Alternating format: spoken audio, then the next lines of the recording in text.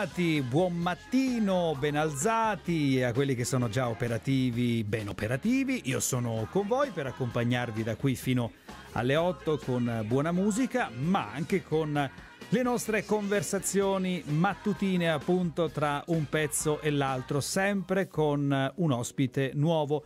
E quello di giornata, anzi quella di giornata è, è un'avvocata, un avvocato, avvocata, me lo dirà lei, eh, una collega peraltro, eh, Maria Giovanna Bloise. Maria Giovanna, pronto? Buongiorno. Pronto, buongiorno, grazie Ugo. Bu- buongiorno da Firenze.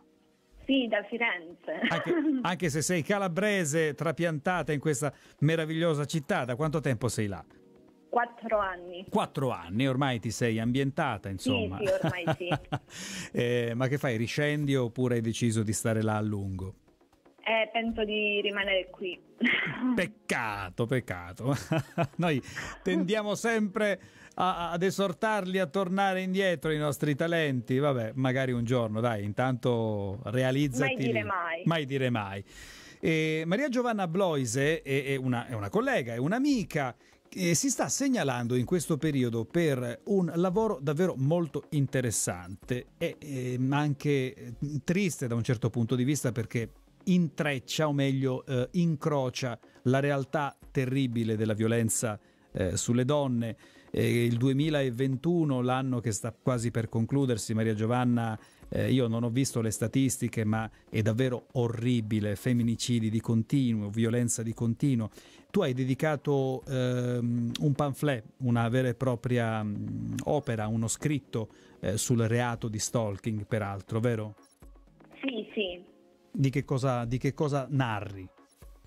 Allora, parlo del reato di stalking alla luce delle recenti modifiche la giurisprudenza in materia, sì. poi la differenza tra lo stalking e la molestia, quindi sia spunti giuridici che psicologici, la psicologia dello stalker, i danni cagionati alla vittima e la tutela della vittima di atti persecutori. E di questo parleremo nei rigori dei tempi che ci sono concessi nella puntata di oggi di Floro in tanti minuti. Maria Giovanna Bloise, autrice de Il delitto di stalking, riflessioni giuridiche, psicologiche, come ci diceva criminologiche su questo odioso reato che insieme ad altri odiosi reati purtroppo eh, sta caratterizzando le cronache ogni giorno, perché ogni giorno ci sono notizie eh, di violenze. Eh, tutto questo sta diventando intollerabile, va fatta una seria riflessione anche a livello eh, legislativo, cara, cara Maria Giovanna, perché temo che a fronte di alcune innovazioni normative che comunque ci sono state, eh, beh, eh, i progressi i risultati eh, non ci siano proprio per nulla. Ma di questo con te parleremo eh, tra poco. Se voi eh, sullo stalking e su altro, eh, ovviamente sempre attinente al tema della puntata, voleste interagire con noi, sappiate che a disposizione avete la nostra consueta infoline WhatsApp, il 335 1221 469. Tra poco insieme a Giovanna Bloise parleremo di eh, stalking e di altro. Diretto da Firenze, Maria Giovanna. E sul finire dello scorso intervento dicevo che alla luce di questa esplosione terribile di violenze nei confronti delle donne, probabilmente qualcosa e più di qualcosa non va. Ci sono stati tanti pacchetti normativi, tante innovazioni, tante leggi eh, volute eh, peraltro da un'alleanza di donne parlamentari, di legislatrici, sia alla Camera che al Senato. Ma eh, poi per quanto concerne il momento attuativo di queste misure che dovrebbero essere a tutela delle donne, poi qualcosa non va perché il volume della violenza è sempre troppo intollerabilmente alto e noi lo registriamo giornalmente sulla cronaca purtroppo nera, vero? Vero, vero, come anche il braccialetto elettronico non funziona, è una normativa che non funziona bene. Tu che cosa hai capito? Come mai queste innovazioni legislative alla fine non hanno sortito l'effetto sperato, e cioè quello di frenare le violenze, perché è una serie inenarrabile di violenze nei confronti delle donne? Guarda, io credo che sia più che altro un fatto culturale mm, il femminicidio, perché bisogna veicolare tra i giovani il messaggio che la donna non è un oggetto da plasmare eh, che eh, è donna e in quanto tale ha diritto ai, ai suoi diritti. Eh, quindi io credo che più che altro sia un fatto culturale perché di innovazioni legislative ce ne sono state parecchie, eh, anche buone. Eh, purtroppo è un fatto culturale. Per esempio, per esempio, la legislazione sullo stalking, reato del quale ti sei occupato in questa tua recente pubblicazione, come, come la valuti? Parlaci di questo tuo scritto.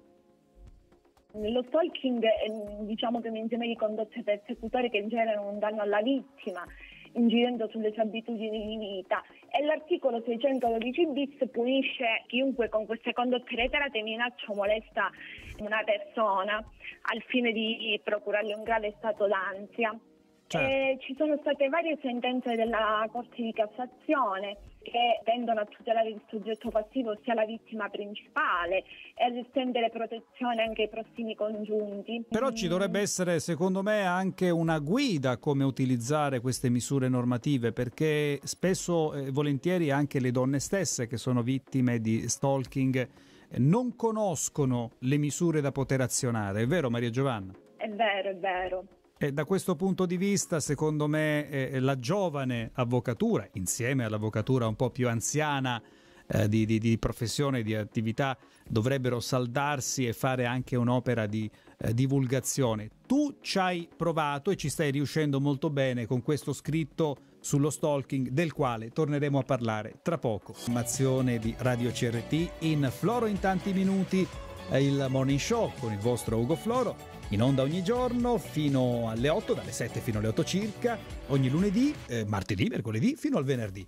C'è eh, Maria Giovanna Bloise, eh, giovane avvocato, giurista, ma già con buoni trascorsi, soprattutto eh, sul profilo dell'impegno contro eh, le violenze nei confronti delle donne. Eh, Maria Giovanna è uscita con eh, una pubblicazione che parla di stalking, un reato purtroppo diffusissimo e ehm, a volte anche non denunciato come bisognerebbe. E tu dicevi, eh, Giovanna, ci sono state delle innovazioni normative, eh, però molto spesso non vengono poste in essere un po' per paura, un po' per mancata conoscenza di queste misure a tutela delle donne e, e forse direi eh, un po' anche perché eh, diciamo la tutela non è immediata e efficace. Tu che ne pensi? Io penso che molte donne, parliamo di donne perché parliamo adesso di femminicidio, però lo stalking ricordiamo che è anche al femminile, quindi certo. non, non è soltanto il maschile. Io penso che molte donne non denuncino perché hanno paura di ripercussioni. Quando vanno a denunciare i tempi sono lunghi e anche il fatto del braccialetto elettronico che ricordavamo prima sì. eh, non viene quasi mai attuato il divieto di dimora sì c'è, però i controlli non ci sono da parte delle forze dell'ordine. E, insomma, Perché non ci sono secondo te da parte delle forze dell'ordine? È una questione legata alla carenza di mezzi, a carenze anche di tipo organico eh, o, o è proprio difficile da attuare la tutela? Io penso che è legata a carenze di tipo organico. Certo, perché poi ci vuole un dispositivo di mezzi e di uomini da concentrare sul soggetto pericoloso, sul soggetto denunciato, no? E questo sì, ovviamente sì. toglie alle già povere, diciamo la verità, povere risorse delle forze dell'ordine energie. Eh, ci auguriamo davvero che gli organici verranno rimpolpati, ci sono da questo punto di vista eh, importanti occasioni, importanti occasioni finanziarie per lo Stato per poter eh, coprire qualche lacuna. Nella tua pubblicazione, Maria Giovanna Bloise, tu parli anche delle recentissime modifiche al delitto di stalking. Che tipo di modifiche sono e secondo te vanno ulteriormente incontro alla tutela della donna?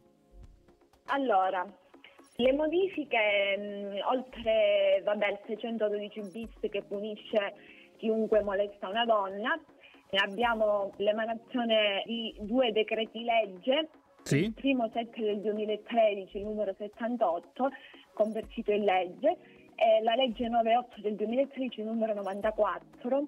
Certo. Con modificazioni.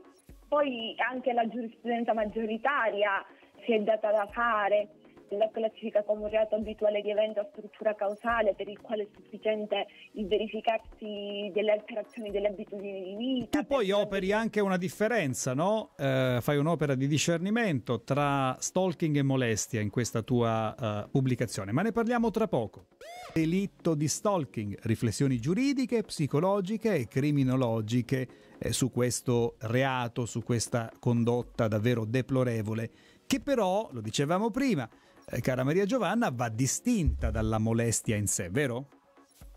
Sì, sì, va distinta. Allora, la molestia, che può essere chiamata anche disturbo alle persone, si ha quando eh, in un luogo pubblico, aperto al pubblico, col mezzo del telefono per petulanza si reca a qualcuno molestia o disturbo. Certo.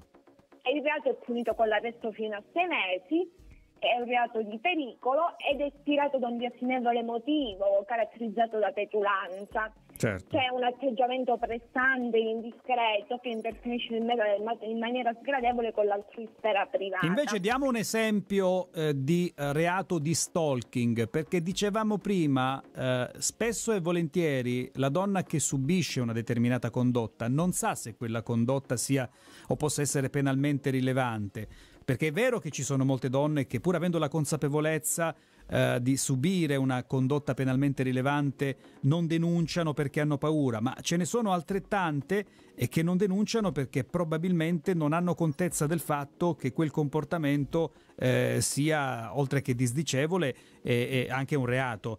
Mm, diamo un esempio di stalking, soprattutto alle giovani amiche che ci ascoltano, cara Giovanna. E lo stalking si manifesta in una serie di atteggiamenti volti a creare ansia, quali ad esempio pedinamenti, ah. telefonate mute, eh, danneggiamenti alle autovetture, alle case. È un reato che tutela la libertà individuale. Certo, quindi un reato che, che, mette anche a dura prova queste libertà, perché la legge ormai vi fa rientrare tanti comportamenti no? rispetto a a quelli eh, diciamo di un tempo, tanti comportamenti eh, che prima magari non erano neanche codificati. Maria Giovanna, noi ti ringraziamo per il tuo contributo, ti ringraziamo soprattutto per aver pubblicato Prego, questa, questa, pubblicazione sulla, sul reato di stalking.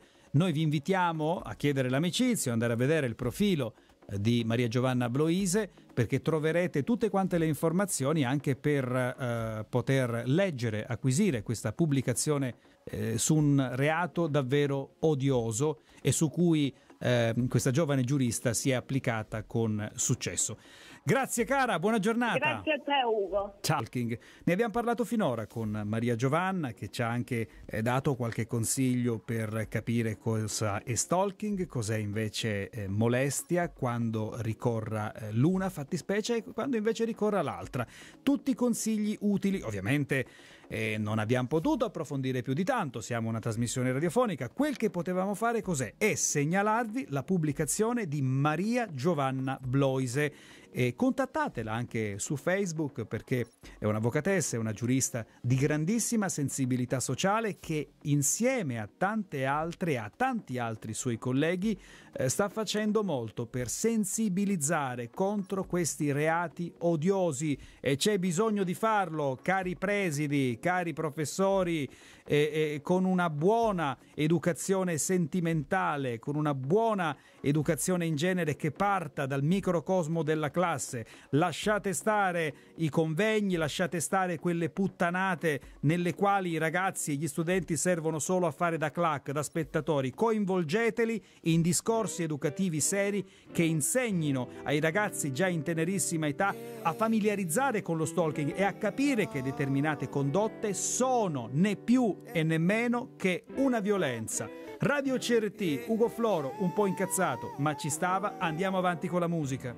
Eh, reati che hanno purtroppo attinenza con il mondo, con la vasta purtroppo gamma delle violenze contro, eh, contro le donne. E Maria Giovanna, lo ripeto, ha scritto un uh, libro eh, che è di facile consultazione, mm, lo ha fatto con un linguaggio davvero molto chiaro, non solo a beneficio degli addetti ai lavori ma anche delle donne, eh, che si intitola Il delitto di stalking, riflessioni giuridiche, psicologiche, criminologiche eh, edito da CSDL, Pubblicazioni Giuridiche. Acquistatelo, chiedete alla diretta interessata facendo riferimento al proprio eh, profilo eh, Facebook, vi troverete una persona assolutamente disponibile, una, una giurista in trincea, no? nella lotta contro eh, le violenze sulle donne. Grazie ancora Maria Giovanna, grazie ancora a voi per averne apprezzato il lavoro di cui abbiamo parlato e l'impegno nella puntata odierna che si sta concludendo di Floro in tanti minuti. Io vi rimando a quella di domani tra le 7 e le 8 come accade dal lunedì al venerdì